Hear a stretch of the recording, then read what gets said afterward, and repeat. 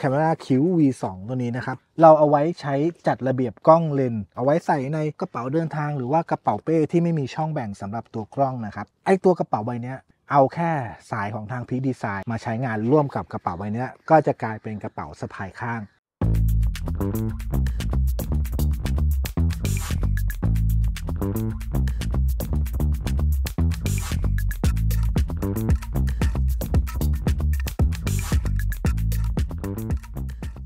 สวัสดีครับ คลิปในวันนี้นะครับ เดี๋ยวเราจะมาบอกวิธีนะครับ การทำให้กระเป๋า Camera Q V2 ตัวนี้นะครับ ที่เราเอาไว้ใช้จัดระเบียบกล้องเลนนะครับ หรือว่าเก็บอุปกรณ์อะไรต่างๆ เอาไว้ใส่ในพวกกระเป๋าเดินทาง หรือว่ากระเป๋าเป้ที่ไม่มีช่องแบ่งสำหรับตัวกล้องนะครับ เป็นกระเป๋าแบบพวกกระเป๋าเสื้อผ้า กระเป๋าลากเดินทางอะไรอย่างนี้นะครับ แต่ว่าไอตัวกระเป๋าใบนี้มันสามารถที่จะอัดแอปนะครับ เอาแค่สายของทางพีดีไซน์ มาใช้งานร่วมกับกระเป๋าใบเนี้ยก็จะกลายเป็นกระเป๋าสะพายข้างได้แบบง่ายๆเลยนะครับ มีวิธีการทำยังไงแล้วก็ใช้อุปกรณ์อะไรบ้าง เดี๋ยววันนี้เราไปดูกันเลยครับ โอเคครับกระเป๋าใบนี้นะครับ อย่างที่ผมบอกไปเมื่อกี้เลยว่ามันเป็นกระเป๋าเอาไว้ใช้จัดระเบียบนะครับ เป็นของทาง Peak Design นะ ตัวนี้เป็น Camera Q V2 นี่ของทาง Peak Design โลโก้สวยงามครับ ซึ่งกระเป๋าใบเนี้ยปกติเราก็จะเอาไว้ใช้จัดระเบียบ กล้องเลนอะไรต่างๆ แล้วก็จับกระเป๋าใบเนี้ยยัดใส่เข้าไปในพวกกระเป๋าเดินทาง กระเป๋าสะพายเป้ หรือว่ากระเป๋าอะไรก็ได้ที่ไม่มีช่องแบ่งตัวเลนตัวกล้องนะครับ ก็จะใช้ใบนี้ แต่ว่าวันนี้ผมอยากจะใช้กระเป๋าใบนี้นำมาใช้เป็นกระเป๋าเก็บกล้องเลนสะพายข้างออกท่องเที่ยวนะครับสำหรับแบบกล้องเลนชุดเล็กอะไรอย่างนี้นะ ก็เรามาดูวิธีกัน อันดับแรกเลยนะครับ อุปกรณ์ที่เราจะมี ซึ่งผมมีอยู่แล้วเป็นของทาง Peak Design เขาเองเลยนะครับ 1 คือตัวกระเป๋า Camera Q V2 ตัวนี้ครับ2นะครับก็คือสายคล้องกล้อง อันนี้คือสายกล้องนะครับ เห็นไหมนี่หลายคนใช้อยู่นะครับ เป็นของทาง Peak Design เหมือนกันนะ ซึ่งไอตัวสายตัวนี้มันสามารถที่จะนำมาประกอบร่างกับตัว Camera Q V2 ตัวนี้ได้ทำให้มันกลายเป็นกระเป๋าสะพายข้างนั่นเองนะครับอะมีสายคล้องคอนะครับสำหรับใส่กล้อง แล้วก็ในอุปกรณ์ของสายคล้องคอตัวเนี้ย มันจะมีตัวสลิงตัวนี้มาให้นะครับ เป็นหมุดสลิงแบบนี้ ตัวกระเป๋า Camera Q V2 ตัวนี้ของทางพีดีไซน์นะครับ ด้านบนเนี่ยเขาจะมีตัวสลิงเห็นไหมครับนี่อันนี้เขาจะมีตัวคล้อง อันนี้เป็นสลิงนะ แล้วก็ไอตัวสายที่ติดกับหมุดตรงนี้ก็เป็นสลิงนะครับ ซึ่งไอหมุดตัวนี้มันจะเป็นควิก r ี l ี a เอาไว้ใส่กับตัวสายกล้องนั่นเองนะผมก็แค่เอาไอตัวเนี้ยสอดเข้าไปนะครับ เอาสลิงสอดเข้าใส่สลิงแบบนี้ที่หูกระเป๋าแบบนี้เห็นไหมครับนี่ อ่าแล้วผมก็คล้องไว้เหมือนกับตอนที่เราใช้คล้องที่ตัวกล้องนะครับ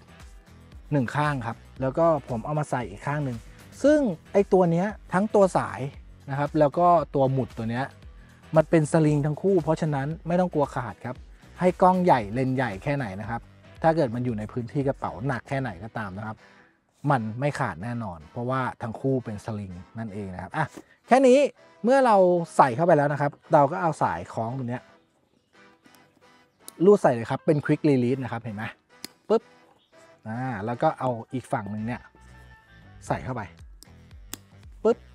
อ่าง่ายมากนี่ครับ ผมขออนุญาตเก็บอุปกรณ์ทั้งหมดนี้ก่อนนะครับ มันก็จะมีตัวพวกตัวแบ่งช่องอะไรปกตินะครับ เราได้รีวิวการใช้งานไปแล้วนะ ตัวแรกที่ผมจะใส่นะครับ เป็นกล้องผมก็ใส่ไว้ในช่องนี้นะครับ อันนี้คือกล้องแล้วเลนตัวนี้ผมใช้ประจำใช่ไหมผมก็จะจัดตัวเนี้ยให้มันพอดี ผมได้แล้วหนึ่งช่องนะครับ ช่องที่สองนะครับ เป็นตัวเลนส์85 ผมก็จะใส่เข้าไปในนี้ด้วยอ่าผมก็จะพกเลนส์35 กับ 85 นะครับ ผมก็ใส่เข้าไปที่ตรงนี้ แล้วก็มันจะมีตัวแบ่งช่องเขาให้มาครบอยู่แล้วนะครับปึ๊บผมก็ทำการแบ่งช่องไว้ ให้มันพอดีเพื่อจะใส่อุปกรณ์อะไรเล็ก ๆ เพิ่มเติมนะครับ เรียบร้อย อันนี้คือใส่เข้าไปได้แล้วนะครับ ต่อมาก็จะเป็นพวกตัวไมค์อุปกรณ์ไมค์นะครับ ผมก็จะใส่ไว้ตรงนี้ ใส่ไว้ตรงนี้ดีกว่านะครับอ่าแล้วก็ตัวโดนนะครับ DJI Neo เป็นโดนเล็กที่บินง่ายนะครับ ผมก็เอาใส่ไว้ ตรงนี้แบตเตอรี่ครับ ผมจะใส่ไว้ช่องล่าง เดี๋ยวมันกระเด็นกระดอนนะครับ จะเก็บไว้ชั้นบนก็ได้หรือว่าจะเก็บไว้อีกฝั่งก็ได้นะครับ แล้วก็ตัวโหลดการ์ดใส่สมาร์ทโฟนนะครับ ตรงเนี้ยมันจะมีถุงผ้าอยู่ ก็ใส่ไว้อะแล้วก็ถุงผ้าตัวเนี้ยผมสามารถเอาออกนะครับ เอาไปแปะตรงอื่นได้อย่างเช่น แปะไว้ตรงนี้แล้วกันในช่องเล็ก ๆ นะครับ เพราะว่าตรงนี้เวลาเปิดออกแล้วมันจะติดกล้องก็จะเป็นประมาณนี้อะอันนี้คืออุปกรณ์ที่ผมเก็บจริง ๆ แล้วมันยังมีอีกหลายช่องที่สามารถเก็บเข้าไปได้เรียบร้อยครับ โอเค แล้วก็อันนี้ผมต้องการที่จะใช้เป็นกระเป๋าสะพายข้าง ผมก็ใส่คล้องคอเข้าไปครับใส่คล้องคอนะครับ เรียบร้อยครับ แล้วคราวนี้นะครับผมก็เก็บอุปกรณ์ทั้งหมดไว้ตรงนี้แล้ว เราได้บอกวิธีการต่อกับ Camera Q กับสายของกล้องให้เรียบร้อยแล้วนะครับ เนี่ย เมื่อเรามี 2 ตัวนี้มาประกอบร่างกันนะครับ ถ้าผมต้องการที่จะใช้เป็นแบบเดินถึงข้างๆแบบนี้สะพายเท่ๆอ่าแบบเนี้ยแบบง่าย ๆนะครับ ผมต้องการที่จะใช้กล้องอ่าผมก็เปิดนะครับ แล้วก็หยิบกล้องขึ้นมา ผมก็ถ่ายโชว์โชว์โชว์ถ่ายวิดีโอปึ๊บปึ๊บเสร็จแล้วครับ ผมก็เก็บต่ออืมเก็บเข้าไป นะครับว่ามันค่อนข้างที่จะสะดวกแล้วก็ว่องไวนะครับ แล้วคราวนี้ถ้าเกิดว่าเอ้ยสะพายอย่างนี้เดี๋ยวแม่งหลุดนี่สะพายอย่างนี้นะครับเดี๋ยวมันหลุด อาจจะมีหลุดมือหลุดหลุดหลุดน้ำอย่างนี้ไม่ดี ผมจะขยับสาย ซึ่งตัวนี้นะครับสายของพีดีไซน์เนี่ยแค่ปลดตัวนี้นะครับแล้วผมก็ดึงมันก็ขยับสายได้แล้วครับปลดแล้วผมก็ดึงรูดมาอย่างนี้เลยปั๊บ